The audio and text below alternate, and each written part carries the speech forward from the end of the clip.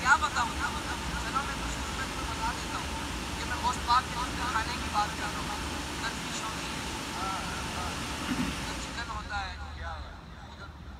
Roast होता है उधर मटन होता है उधर चावल होते हैं अचार होता है सुबह नाश्ते में मलाई होती है सुबह नाश्ते में शहद होता है कोल्ड ड्रिंक वालों के लिए कोल्ड ड्रिंक होती है मिनरल वाटर वालों के लिए मिनरल वाटर होती है चाय वालों के लिए चाय होती है कॉफ़ी वालों के होती है।